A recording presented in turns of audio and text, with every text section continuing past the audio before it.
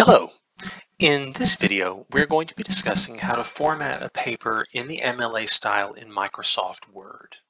So, first thing we're going to want to do is put in our page numbers and then edit them.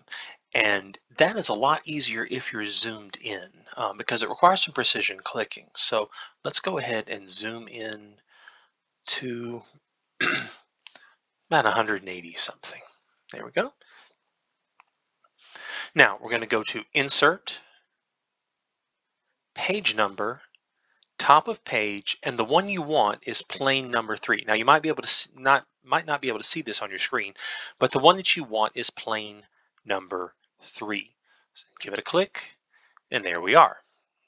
Now you'll notice that the one has a gray box around it. What that means is that that number is going to change from page to page. If you accidentally delete that one and just type one in, Microsoft Word will think, oh, you want the number one on every page. So if that uh, gray box one ever disappears, stop and hit undo until you get it back and then try again. Now in MLA style, the page numbers always have the author's, uh, the author of the paper's last name in front of them. So let's go ahead and put that in with a space. Now you'll notice that we're in a special uh, menu here. So uh, when we're done doing everything that we need to do to make this correct, we're going to hit close header and footer. And you'll see that again in a little bit. Now, uh, let's take a look at the font being used. Okay. Now, uh, for pretty much anytime you just open it and start working with it, uh, Microsoft Word defaults to Calibri and the size defaults to 11. And those aren't what we use in MLA. What you're going to want to use for MLA papers is either Times New Roman or Courier New, and the size is going to be 12. So for this paper, let's use Times New Roman. So we're going to set it Times New Roman and then set it to 12. And we'll have to do this again when we get back out in the body of the paper, but we'll fix it once and for all when we get there.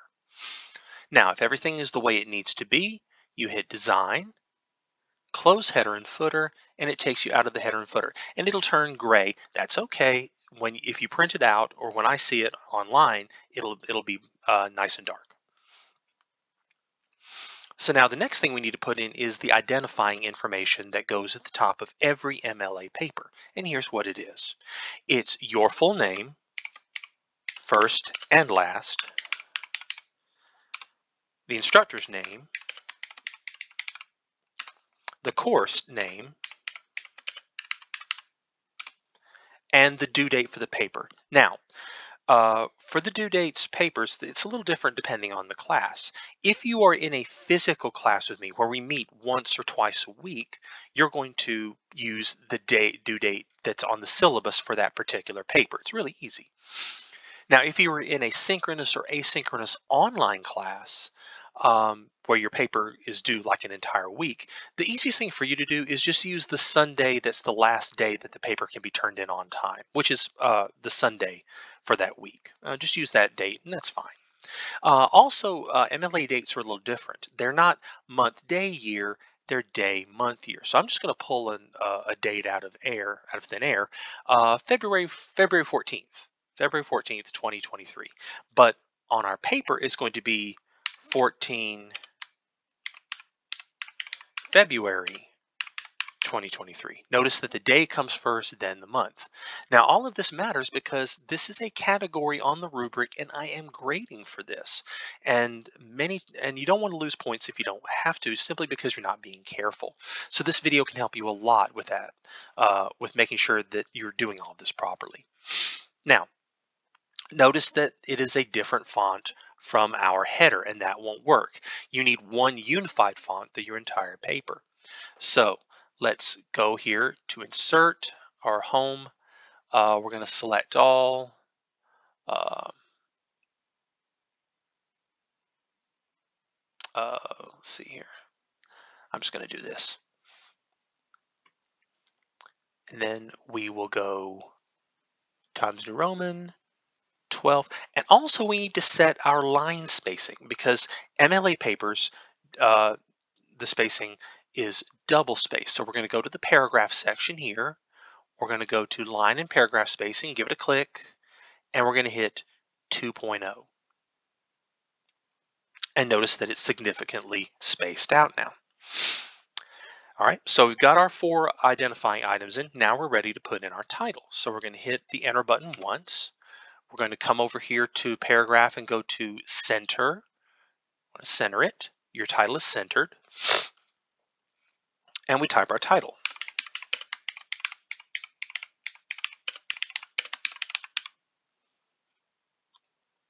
And fix any mistakes we make.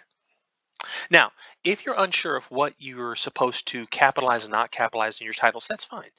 Uh, go to my go to Blackboard and go to my presentation on capitalization and uh, open it up and you'll find near the end a section devoted to titles and that includes the titles for your own papers uh, and it will tell you exactly what you should and shouldn't capitalize. Uh, notice also that the uh, that there's no special uh, font for this. It looks just like everything else. Don't make it bigger, don't make it smaller, don't make it italicized or underlined, none of that stuff. It should look just like the rest of your paper. Uh, centering is the only special thing you do to it. So we're going to hit return. We're going to go back to align left and we're going to hit tab because that indents our paragraph. Every paragraph needs to be indented. That first line is going to be bumped in. All the rest will be flush with a margin. And we're going to type our first paragraph. And I've got one pre-ready for us, so I'm just going to paste it in like that. Okay. Now, when you're ready to start a new paragraph, you hit the enter button just one time. That's all. You hit enter once, you hit tab, and then you write your next paragraph. And again, I've got one ready for us um,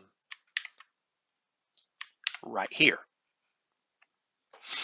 Now, you'll notice that there are in-text citations in this paragraph. It's because this is a research paper and I have included research, or the student has included research, that um, not is not from his or her personal experience.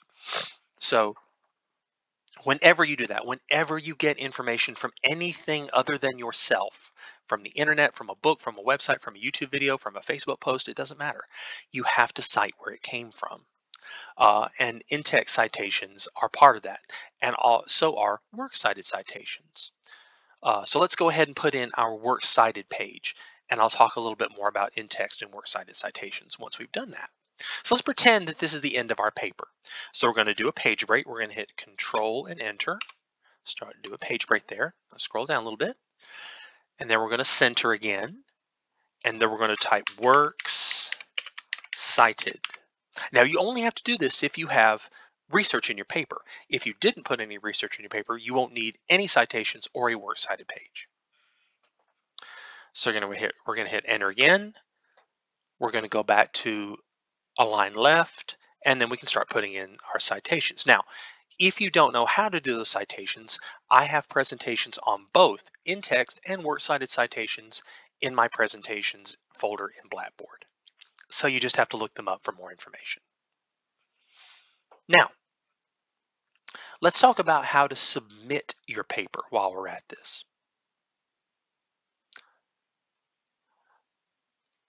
The first thing you're going to want to do is save your paper. Now you can save it as a docx file. So we're going to save it. We're going to save this one to the desktop. So you can save it as a Word document, or you can save it as a PDF file. I will take either one. Uh, since it's Microsoft Word, uh, the easiest thing to do is just save it, save it as a docx file uh, and be done with it. Um, but I'll leave that up to you. Either file type. Don't use any other file type, and do not ever send me a link to your paper. I can't grade links, I can only grade files, and files have to be submitted to Blackboard. And that is how you format a paper in the MLA style in Blackboard. Um, now, because of limitations with the software I'm using, I'm doing I'm going to have a separate video on how to actually upload it. Um, so be looking for that, a link for that in Blackboard. Um, otherwise, again, if you have any problems or questions with uh, about this process, please let me know with an email, uh, visit my office, uh, send me a Blackboard message, or give me a phone call, and I'll be more than happy to help you with it. Uh, thanks for watching.